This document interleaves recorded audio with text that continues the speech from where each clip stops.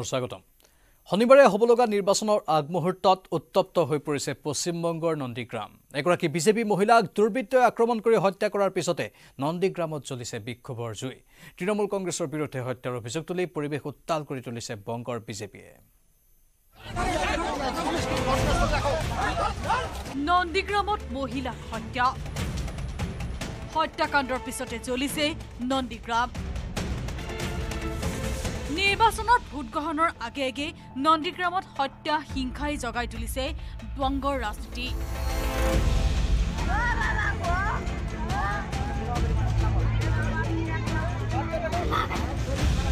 বিক্ষোভ প্ৰতিবাদ আন্দোলনত জ্বলিছে বংগৰ নন্দীগ্ৰাম।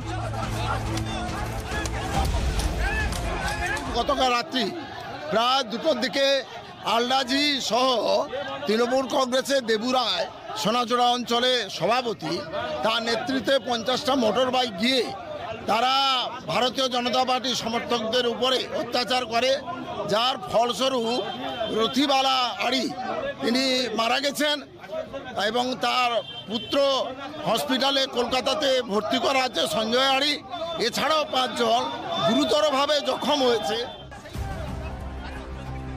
পঁচিছ মেত লোকসভা নিৰ্বাচনৰ ষষ্ঠ পৰ্যায়ৰ ভোটগ্ৰহণৰ আগে আগে উত্তপ্ত হৈ পৰিছে নন্দীগ্ৰাম। তামলুক লোকসভা সমষ্টিৰ অধীনত আছে হিংসাজৰ্জৰ নন্দীগ্ৰাম। কিন্তু ভোটৰ আগে আগে নন্দীগ্ৰামৰ সোণাচূড়াত এগৰাকী মহিলা বিজেপি সমৰ্থকৰ হত্যাক লৈ অগ্নিগৰ্ভা হৈ পৰিছে নন্দীগ্ৰাম। বুধবাৰে পুৱতি নিশা সংঘটিত হয় এই হত্যাকাণ্ড। নিহত মহিলাগৰাকীৰ নাম ৰথিবালা আৰি। আক্ৰমণত ৰথিবলাৰ পুত্ৰ গুৰুতৰভাৱে আহত হয়। ঘৰ জ্বলিছে দোকান জ্বলিছে ৰাজপথত টায়াৰ জ্বলিছে।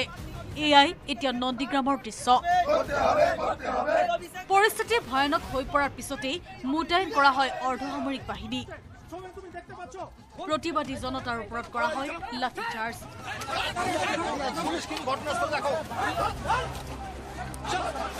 ৰথিবালাৰ হত্যাৰ পিছতেই বিজেপি হৈ পৰিছে সুচাৰ বিজেপিৰ অভিযোগ তৃণমূল কংগ্ৰেছৰ লোকে হত্যা কৰিছে ৰথিবালাৰ অভিযোগ মতে প্ৰায় সাতজন লোকে চোকাস্ত্ৰলৈ কৰা আক্ৰমণৰ ফলতেই ৰথিবালাৰ মৃত্যু হয়।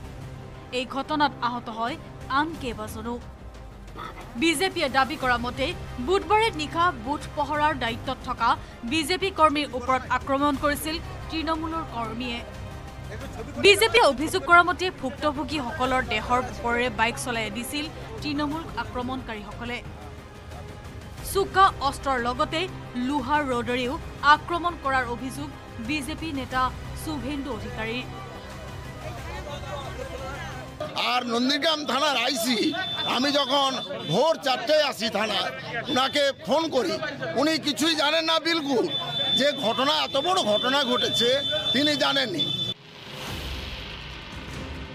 উল্লেখ্য যে বুধবাৰে তৃণমূল নেতা অভিষেক বেনাৰ্জীয়ে নিৰ্বাচনী সভা কৰিছিল নন্দীগ্ৰামত সেই সভাতে উচতনি দিয়াৰ পিছতেই নিশালৈ এই নাৰকীয় আক্ৰমণ আৰু হত্যাকাণ্ড হয় বুলি অভিযোগ কৰে শুভেন্দু অধিকাৰীয়ে আনহাতে নন্দীগ্ৰামৰ ৰাইজে যাতে ভোটদান কৰিবলৈ ওলাই নাহে তাৰ বাবে ভয়ৰ এক পৰিৱেশ গঢ়িবলৈ টি এম চিয়ে এই হত্যাকাণ্ড সংঘটিত কৰা বুলি অভিযোগ বংগ বিজেপিৰ সভাপতি সুকান্ত মজুমদাৰৰ नंदीग्राम में तमलुक में भय का वातावरण बना रहे जिससे जो वोटर्स है, वो वोटर देने के लिए नहीं निकले। इससे टीएमसी को लाभ होगा, इसके लिए कोशिश है।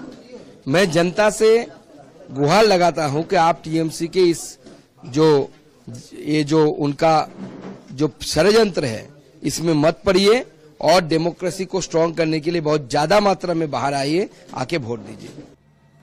কিন্তু এই আক্ৰমণ আৰু হত্যাৰ আঁৰত তৃণমূল কংগ্ৰেছ জড়িত থকা বুলি বিজেপিয়ে কৰা দাবী অস্বীকাৰ কৰিছে মমতা বাহিনীয়ে। প্ৰতিবাদী আন্দোলনেৰে পৰিস্থিতি উত্তপ্ত কৰি ৰাখিছে বংগ বিজেপিয়ে। একাংশ ক্ষুদ্ধ লোকে কেইবাখনো দোকান চলাই দিয়ে। শুকুৰবাৰে বাৰঘণ্টীয়া বন্ধৰ আহ্বান কৰে কেইবাটাও সংগঠনে। সোণাচূড়া এলেকাত প্ৰতিবাদকাৰীক নিয়ন্ত্ৰিত কৰিবলৈ নিৰাপত্তা বাহিনীয়ে লাঠিচালনা কৰিবলৈ বাধ্য হয়। উল্লেখ্য যে বিধানসভা নিৰ্বাচনত নন্দীগ্ৰাম সমষ্টিত বিজেপিৰ শুভেন্দু অধিকাৰীৰ হাতত পৰাজিত হৈছিল মুখ্যমন্ত্ৰী মমতা বেনাৰ্জী। ষোল্ল মেৰ এক নিৰ্বাচনী সভাত সেই পৰাজয়ৰ প্ৰতিশোধ লোৱা হ'ব বুলি কৈছিল মমতাই। এতিয়া এই সমগ্ৰ আক্ৰমণ আৰু হত্যাৰ আঁৰত মমতা বাহিনী আছে বুলিও দাবী কৰিছে বিজেপিয়ে। পঁচিছ মেৰ আগমুহূৰ্তত এই ঘটনাই পৰিস্থিতি উত্তপ্ত কৰি তুলিছে। প্ৰশ্ন হৈছে শনিবাৰে নন্দীগ্ৰামত ভোটগ্ৰহণ শান্তিপূৰ্ণভাৱে হ'বনে? News desk report news eighteen Assam north east.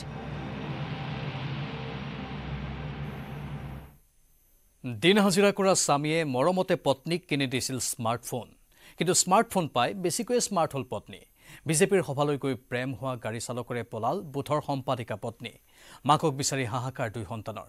পত্নীক বিচাৰি কাতৰ আহ্বান স্বামীৰ। দিন হাজিৰা কৰা স্বামীয়ে মৰমতে কিনি দিছিল এটা স্মাৰ্টফোন স্মাৰ্টফোন পাই বেছিকৈ স্মাৰ্ট হৈ গ'ল পত্নী।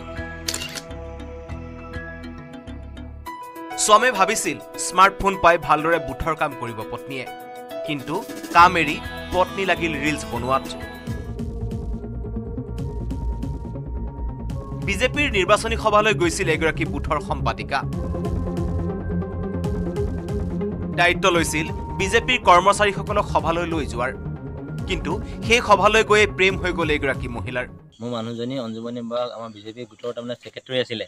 ছেক্ৰেটাৰী বিজেপি ছেক্ৰেটৰী বেছিদিন আমাক লখিমপুৰলৈ মিটিঙলৈ যাওঁতে দায়িত্বভাৰ মোৰ মানুহজনী দিছে যে গাঁৱৰ ট্ৰেভেলাৰ গাড়ী দিছিলে আল্টা বাছ দিছিলে মই দায়িত্ব দিছে গাঁৱৰ সকলো মহিলাক ছেক্ৰেটৰী দায়িত্ব দিছিলে তালৈ নিয়া অনা নিয়া দায়িত্ব। তাৰ মানুহজনী নিলে আৰু ট্ৰেভেলাৰ তেওঁ এই গাড়ীতে চিনাকি হৈ মানুহৰ চিনাকি হ'ল দাদা আপোনাৰ ঘৰ ক'ত কিবা কয় তেওঁ ক'লে মোৰ ঘৰ ডিব্ৰুগড়ত। চিনাকি হৈ তেওঁ চিনাকি হৈ কথা বতৰা পাতি নাম্বাৰ চাম্বাৰ লৈ তেওঁ লখিমপুৰলৈ গ'ল লখিম মিটিঙত থাকিলে সেই গাড়ীতে তেওঁ আহিলে। আহি দুই তিনি নম্বৰ চেনেল লাগে দুই তিনি কথা বতৰা পাতি কি হ'ল কি হ'ল কম নাজানো কি ক'লে তেওঁ আমি যাদু কৰিলে কিবা কৰিলে নাজানো দুটা ল'ৰা ছোৱালী থৈ তেওঁ তিনি চাৰি নম্বৰ তিনি চাৰি নম্বৰ তেওঁ নাইকিয়া হৈ গ'ল। প্ৰেম কেতিয়া কাৰ লগত হয় কোনেও নাজানে। সভালৈ লৈ যোৱা চালকৰ সৈতে চিনাকি হ'ল বুথৰ সম্পাদিকাৰ। তাৰ পাছতে আৰম্ভ হ'ল অবৈধ প্ৰেম। প্ৰেম মানে একেবাৰে এৰিব নোৱাৰা প্ৰেম। এদিন দুদিন কথা পাতি নতুনকৈ সংসাৰ কৰিবলৈ দুটা সন্তানসহ স্বামীক এৰি পলাই গ'ল ডিব্ৰুগড়ৰ লেজাৰ দীঘলীয়া গাঁৱৰ জিন্তু চুতীয়াৰ লগত। যে আমি যে ন্যায় বিচাৰোঁ যে মোৰ কোনো উপায় নাই মই দিন হাজিৰা কৰি খোৱা মানুহ। ল'ৰাকেইটা কামলৈ নগ'ল আজি এমাহ ডেৰ মাহ ভাত পানী নাই স্কুললৈ লোৱা পঢ়া শুনাতে নাই ভাত পানী নাখায় কলকলি গ'লে কাৰণে মা যা মা যা মাক লাগে মাক লাগে কৈ থাকে। এতিয়া মোক কি কৰিম মই কামলৈ নগ'লেও নহয়। ৰাতিপুৱা যাওঁ মই অকল সেয়া মাও বেলেগ দেউতাও বেলেগ মই অকলে অকলে ল'ৰা এটা বুকুলৈ আজি এমাহ ডেৰ মাহ মোক খোৱা বোৱা থকা শান্তি নাই অকল মা যাওঁ বা ল'ৰাকেইটা অৱস্থা নাইকিয়া হৈ গৈছে। মাকক নাপাই এতিয়া হাহাকাৰ কৰিছে দুই পুত্ৰই। প্ৰায় এমাহ ধৰি মাকৰ মৰমৰ পৰা বঞ্চিত পুত্ৰ সন্তান দুটি শোকত ভাগি পৰিছে এৰিছে বিদ্যালয় খোৱা বোৱা চিন্তিত হৈ পৰিছে এজন পিতৃ। অসহায় পিতৃয়ে আৰক্ষীৰ কাষ চাপিছে যদিও পোৱা নাই কোনো পৰিত্ৰাণ। অৱশেষত দুই সন্তানৰ মুখলৈ চাই ঘৰলৈ ঘূৰি আহিবলৈ স্বামীৰ কাতৰ আহ্বান এই মহিলাগৰাকীক। ধেমাজিৰ পৰা Mon Bikash বুঢ়াগোহাঁইৰ report news eighteen Assam north east. Guwahati পৌৰ নিগমক প্ৰত্যাহ্বান জনাই মহানগৰীত দিনে নিশাই চলি আছে পানীৰ অবৈধ ব্যৱসায়। জি এম চিৰ পানী যোগান পৰ্যাপ্ত নোহোৱাত বৰিং কৰি অত্যধিক হাৰত পানীৰ অবৈধ বেহা চলাই আছে একাংশ দুষ্ট চক্ৰই। এই ৰিপৰ্ট আগবঢ়াই বিদায় লৈছোঁ। দিনটোৰ শিৰোনামৰ পৰা নমস্কাৰ।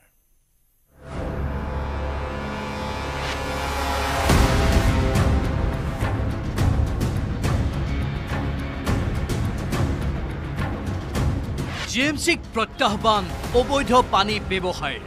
আমি যদি নহওঁ কোনো দিন চৰকাৰে পানী পানী জায়গায় দিব নোৱাৰে আমি একদিন গাড়ী বন্ধ কৰিলে পাব্লিকৰ হাহাকাৰ লাগি যায় বোলে পানী লাগে পানী লাগে। এদিনৰ কাৰণে বন্ধ হৈছিল তেতিয়া গুৱাহাটীৰে হাহাকাৰ লাগি গৈছিল আমি পানী যোগান বন্ধ কৰিলে হাহাকাৰ লাগিব। গুৱাহাটী মহানগৰীত গুৱাহাটীত হ'ব ভয়ংকৰ জলসংকট। সঁচাকৈ যেন এতিয়া গুৱাহাটীত ভয়ংকৰ জলসংকট। এটুপি খোৱা পানীৰ অভাৱত ভুগিছে মহানগৰীৰ বিভিন্ন প্ৰান্তৰ ৰাইজ। গুৱাহাটীবাসীৰ বাবে পৰ্যাপ্ত নহয় জি এম চিৰ পানী যোগান কেন্দ্ৰকেইটা। যাৰ ফলত একাংশ দুষ্ট চক্ৰই অবৈধ বৰিং কৰি চলাইছে এখন ৰমৰমীয়া বজাৰ। কিন্তু কাণসাৰ নাই সংশ্লিষ্ট কৰ্তৃপক্ষৰ। অবৈধ খনন কৰি ভূগৰ্ভৰ শ শ ফুট তললৈ ফুটা কৰি ভূগৰ্ভৰ পানীৰে পতা বেহাখন এতিয়া হৈ পৰিছে প্ৰকৃতিৰ প্ৰতি ভাবুকিস্বৰূপ গুৱাহাটীৰ বিভিন্ন প্ৰান্তত শুকাই গৈছে কুঁৱা।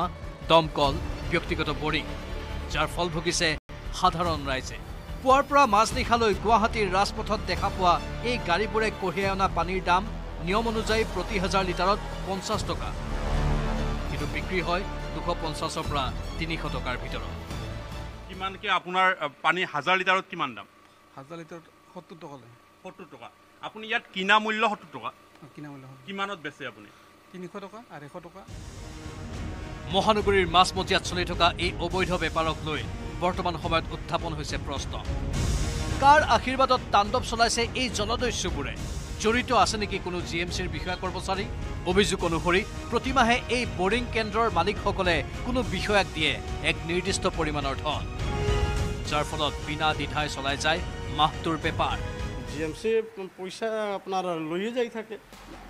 এতিয়া প্ৰশ্ন হয় জি এম চিৰ ব্যৰ্থতা থাকিবৰ বাবেই এনেদৰে চলাই যাবলৈ দিয়া হৈছে নেকি অবৈধ পানীৰ বেহা? জি এম চিয়ে যোগান ধৰিব নোৱাৰাৰ বাবেই মাহিলী ভাত্তাৰ বিনিময়ত সেউজ সংকেত দিয়া হয় নেকি পানীৰ বেপাৰীক? প্ৰিয়ব্ৰত গগৈৰ report news eighteen Assam north east.